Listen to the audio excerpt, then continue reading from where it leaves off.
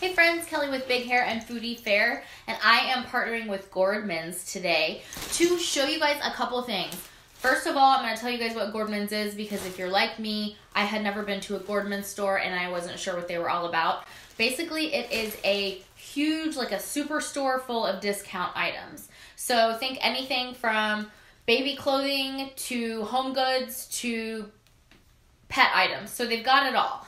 Um, I'm going to show you what I got in this bag. Everything in this bag totaled under $150, including tax. So I'm going to do a little haul for you. I'm going to show you guys what I got, A.